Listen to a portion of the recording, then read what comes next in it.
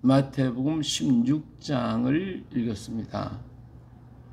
마태복음 16장은 어, 예수님께서 마지막 시대의 모습을 잠깐 이렇게 열어 보여주시는데 어, 자 바리새인과 사등이들이 언제든 예수님의 이적과 기사를 다 보면서도 밤나 오면 무슨 표적을 보이겠습니까? 어떤 표적을 보입니까? 자꾸 따지잖아요.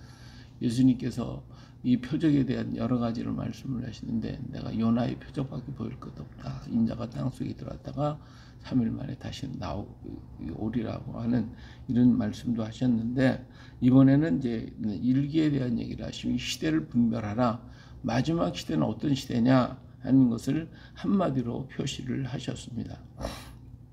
그 말씀이 뭐냐면 자 어, 사절에 보면 악하고 음란한 세대가 표적을 구하나 요나의 표적밖에 보여줄 표적이 없느니라 그들을 떠나가시니라. 예, 여기서 어, 음, 하나님이 심판하시는 때가 언제냐면 악하고 음란한 세대입니다. 악하고 음란한 세대. 이게 아주 중요한 부분인데 이 악하고 음란한 시대가 오면 그러면 그때가 마지막일 것임을 은근히 표시를 해 주신 것입니다. 그래서 이런 악하고 음란한 시대에 내가 뭘 보여주겠냐 요나의 표적밖에 보여줄 수가 없다.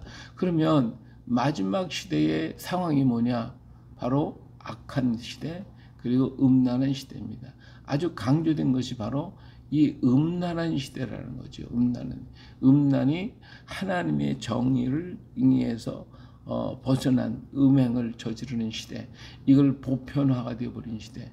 그러니까 노아의 홍수 시대에도 역시 이 음행이 보편화가 되어버린. 그러면 이것이 마지막 시대의 모습이라는 거예요. 오늘 시대에 우리 한번 생각해 보십시다. 이 음란한 시대가 보편화가 되어 있는 시대가 아닌가. 이것이 바로 어, 음, 마지막 시대의 전형적인 모습 거기에는 악이 더한 시대가 되기 때문에 사람들은 어떻게 하든지 속고 속이, 속이려고 하는 그래서 어, 사람들이 죄를 범하되 이 죄를 죄로 여기지 않는 그런 시대가 되버리고 말았어요. 아주 끔찍한 살인 사건 이런 사건들이 번번이 일어나는데 그 시대가 점점 나이가 어려가고 있다는 사실이죠. 이렇게 어, 악을 악으로 알지 못하고 죄를 죄로 알지 못하고 생명의 생명을 생명으로 제대로 깨닫지 못하는 시대. 거기에다가 인간이 음란으로 가득 차서 이, 이 어, 악과 음란이 보편화되어 버리면 그것이 마지막 시대의 현상이다. 라고 하는 것을 말씀해 주고 계시는 것입니다. 자, 그래서 여기 예수님께서 또 바리새인과 사두개인들이 누룩을 주게 하라. 이런 얘기를 했죠. 자, 바리새인과 사두개인들이 누룩이 뭐예요? 이것이 바로 율법주의자죠. 예수님은 이제 새로운 시대를 오셨어요. 율법에 속한 시대가 아니에요. 예수 그리스도의 은혜의 시대 속에 속하 있는 시대에 있어야 되는데 율법에 계속 매여 있는 거죠. 율법 속에 잡혀 있고 율법에 매여 있고 그와 같이 그런 시대에서 아니라 예수 그리스도의 은혜의 시대 속에 들어가는 믿음의 세대 속에 가야 되는데 이것이 또 편만해져. 사람들은 자꾸 그걸 끌어들이려고 잡아 당기는 어, 이렇게 당긴단 말이에요. 이것이 결 어, 그것을 주, 주의하지 않으면 우리는 어, 하나님의 이 그 놀라운 사랑과 그 은혜를 알 수가 없습니다. 우리 예수님 바로 그 율법의 부족한 뭐 완성시켜서 진정한 율법의 의미가 무엇인가를 가르쳐 주시기 위해서 오시고 새 시대를 열었죠. 이게 마태복음 5장부터 7장에 예수님이 선포한 시대의 모습인데 이게 율법에 갇혀 있거든요. 오늘날 교회도 마찬가지예요. 울타리 속에 다 갇혀 갖고 세상을 단절시켜 버리고 그 울타리 속에서 내가 최고고 내가 제일인 것처럼 이렇게 생각하면 안 되거든요. 오늘 우리는 이 담장을 교회의 담장을 다 헐어야 돼. 내 신앙의 담장 다 헐어버려야 돼.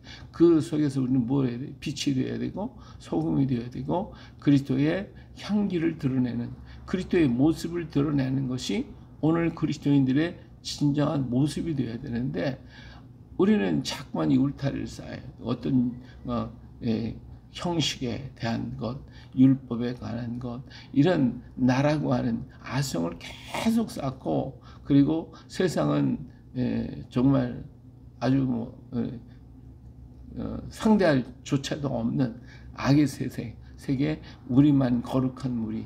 근데 사실 알고 보면 반대가 돼버리거든요. 예, 이, 그렇기 때문에 담을 헐어야 되는 거예요.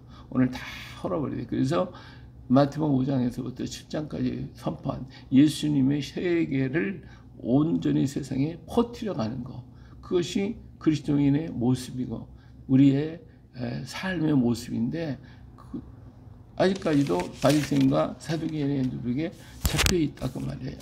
이런 신약적인 사두개인과 바리새인에 잡혀 있는 오늘 우리들을 향하여 주님은 헐어라 얘기를 하고 계시는 것이죠. 자, 예수님께서 이제 가이사랴 빌립보 주방에 가셨다가 나오셨는데 그리고 예수님은 자신이 누구냐고 물어봅니다. 자, 여기서 가이사랴 빌립보 주방은요. 수없이 많은 세상에 있는 모든 신들이 다 거기에 있어요. 전부 다 있어요. 그 신들을 전부 다 보여주시고 그리고 나오시면서 나를 누구냐고 물어보시는 거예요. 자, 세상 사람 다 존경하고 신이라고 받들어 사 받드는 수없이 많은 사람들이 있어요. 근데 과연 그 많은 신들 중에 예?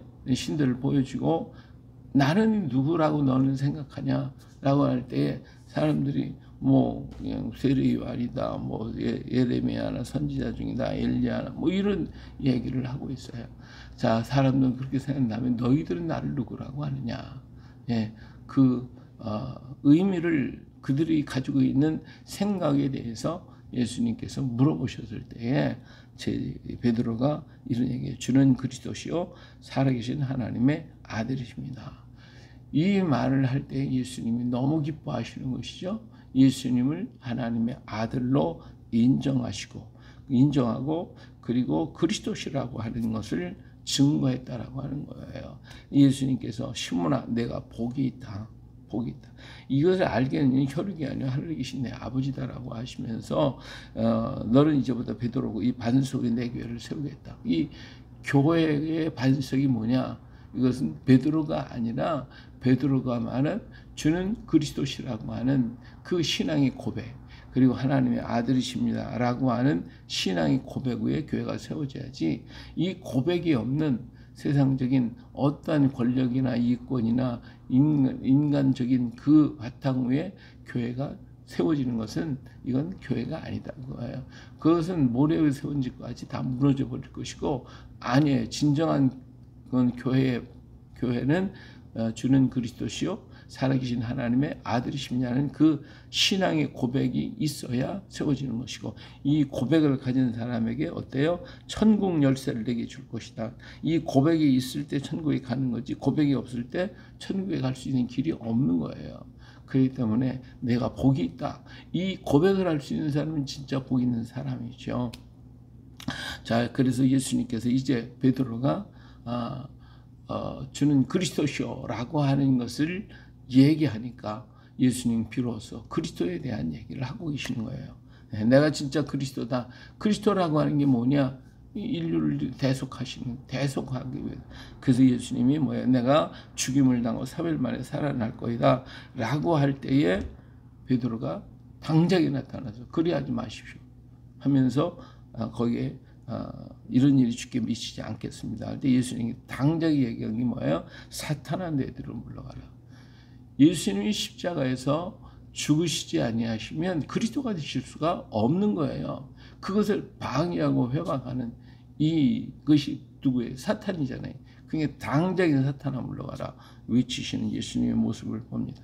이러한 예, 그러면서 나를 따라온 십자가를 지고 따라오라고 얘기를 하고 계시는 것이죠. 자 그렇기 때문에 여기서 중요한 것은 다른 게 아니라 이 베드로의 신앙의 고백을 해놓고서는 그 고백을 자기 속에서 나온 게 아니라 하나님이 지금 가르쳐 줬다. 가르쳐 주신 것을 얘기한 것 뿐이지 정말 자기 자신이 그러한 역사를 깨닫고 말한 것은 아니다. 라고 하는 걸 말할 수가 있고 또 한 가지는 진정한 그리스도가 될 수 있는 길이 무엇인지를 알지를 못하는 거예요.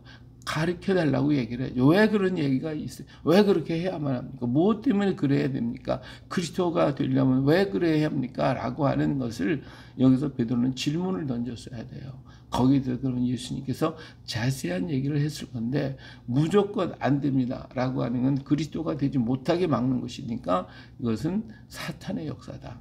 예, 오늘 우리는 내가 오늘 우리의 신앙이 고백한 주는 그리스도이시며 바로 예수님을 그리스도로 받아들인 자 예수님이 십자가에서 나의 죄를 대신 한 어린 속죄의 어린 양이 되셨습니다 라는 고백 그 고백 때문에 그 예수님 때문에 내 죄사함 받고 나는 하나님의 자녀가 됐다라고 하는 이 고백이 있을 때에 천국문이 열려지는 것이에요 다시 말하면 예수 그리스도를 그리스도로 고백하여야만 우리는 천국에 들어갈 수가 있고 하나님의 자녀가 될 수가 있고 이게 진정한 그리스도인의 모습이에요. 근데 그것을 부인해 버리면 이보다도 더큰 예, 죄가 없는 거예요. 이건 사탄의 역사예요. 하나님 예수 그리스도를 그리스도임을 부인하는 것, 그리스도가 되지 못하게 막는 것, 이건 사탄의 역사다. 과감하게 예수님께서 물리치셨던 것을 볼 수가 있습니다. 그래서 예수님이 가셨던 그 길을 따라가려면 어떻게 자기를 부인하고 십자가 지고 따라가는 것밖에 없다. 그 모습이 뭐냐? 온유하고 겸손한 모습이고, 예, 심령이 가난한 자의 모습이고, 이것이 산상손에 선포한 그리스도의 모습이에요. 이것을 통해서 우리 그리스도인들은 소금이 되는 거고, 빛이 되어지는 것이고, 세상의 모든 사람 우리를 바라보고, 그 빛을 따라서, 그 소금의 맛을 따라서 그들이 변화되어지고, 하나님의 자녀가 되는 것입니다. 할렐루야. 오늘 또 이 말씀을 기억하며 내가 빛과 소금의 역할을 다 감당해서 세상 사람이 나를 바라보고 예수 그리스도를 볼 수 있는 그러한 나를 만들어가는 오늘 우리 또 되시기를 예수님의 이름으로 축복합니다. 할렐루야.